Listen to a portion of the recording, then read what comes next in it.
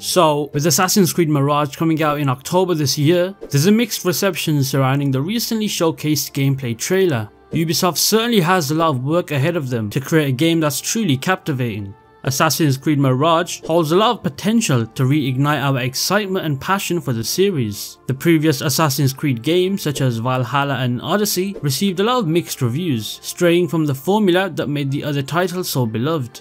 Now with Mirage on the horizon, the stakes are higher than ever. We've only got a taste of what's to come through the gameplay trailer and a few story details, but it's pretty clear that the anticipation is through the roof. There's a lot of different possibilities through which Ubisoft can transform Assassin's Creed Mirage into an exceptional Assassin's Creed game, and that's what I want to go over. In this video, I will delve into some ways that I personally believe would make Assassin's Creed Mirage a great game. So yeah, if you enjoy this type of video, you know what to do by now. And with that being said, let's proceed.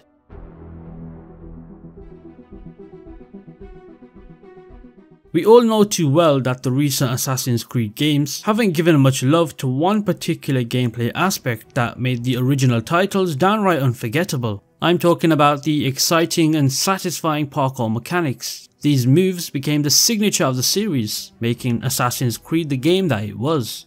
The anticipation among players for Ubisoft to rekindle the spirit of parkour in Assassin's Creed Mirage is palpable. It's a chance for the developers to recapture the essence that made the franchise a phenomenon in the first place. And with Assassin's Creed Mirage centering around Basim, a character that we encountered in the latest Assassin's Creed Valhalla, Ubisoft has such a perfect chance to delve deep into his origin story and showcase his remarkable abilities. And as we reflect on the parkour mechanic showcased in a previous game such as Assassin's Creed Unity, it becomes pretty much clear that emphasizing this aspect should be a top priority for Ubisoft to make the game great. Take Assassin's Creed Odyssey for example. The introduction of the ability to climb almost anything was pretty intriguing. It offered a sense of freedom while exploring and reaching different locations. However, when it came to the cities and coastal environments, the parkour system experienced a noticeable downgrade. There were no specialized moves to gracefully navigate around obstacles like trees and branches, which made the game's parkour system very very basic. One particular aspect that really bothered me was the implementation of having no fall damage. As you progressed in the game and acquired a certain perk, falling from heights no longer posed a threat. This change diminished the sense of risk and excitement that came with leaping from great heights. Personally, I found this change quite dissatisfying. Now going back and comparing it with Unity, the parkour system painted a completely different picture.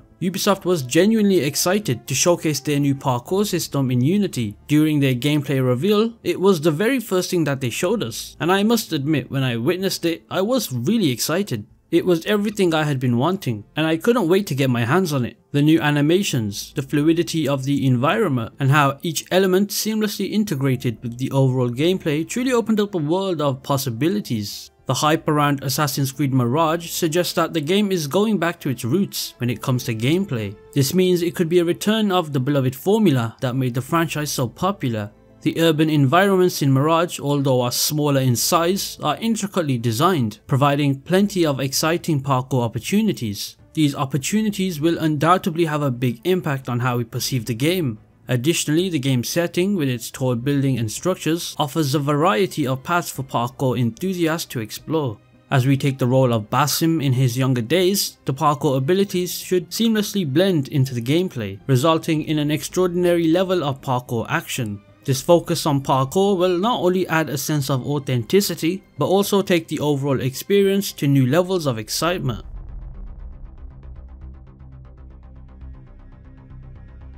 Okay, so this one might cause a bit of controversy, and the reason I say this is because there's always the debate of whether a story in a game should be long or short. And if you played the recent Assassin's Creed games, you know the main story in those games are ridiculously long. Like seriously, these games could go way over 100 hours and that's not even whilst completing every single side quest in the game. While there are some people that may enjoy the game's very long playtime and abundance of activities on each map, there comes a point where it can be a bit tiresome, even for those who only want to focus on the main story. Those quests alone can take far too long to complete. The endless array of things that are spread across an expansive landscape can feel overwhelming. The constant pressure to complete an ever expanding checklist of activities can also be mentally draining and distract us from the desire to progress the main storyline. I say this because I've experienced this before when I played Far Cry 6, which is coincidentally another Ubisoft game. I have yet to finish the story of that game, despite putting over 50 hours into it. This was largely due to me simply just doing side quests, and it drained me out from the story itself, so I just simply never played it since. I do remember being so excited about that game. Seeing Giancarlo Esposito as the main antagonist made me instantly pre-order it, yet it was a disappointment. While it's valuable to consider a more concise and shortened storyline, it doesn't automatically imply that the overall duration of Assassin's Creed Mirage should be dramatically reduced. However, if the main story of Mirage goes on for over 60 hours, which it definitely won't, it can become way too long and affect the overall gaming experience for many of us. But don't worry, there's a solution that can make the game even more exciting. By keeping the main story at a reasonable length, developers can make the game have actual replayable value. You'll want to play over and over again, trying out different paths and making different choices each time. These choices can lead to significant consequences, especially in side quests, resulting in a more immersive and dynamic gaming experience. So if Ubisoft can find the right balance between a shorter but engaging story and lots of exciting content, they can create a game that will truly capture our attention. It will make people become hooked, wanting to explore the story from different angles, and feeling like we'll have a real say in how it all unfolds. When it comes to stealth in the recent Assassin's Creed games, I can't help but express my disappointment on how they've let this mechanic slip.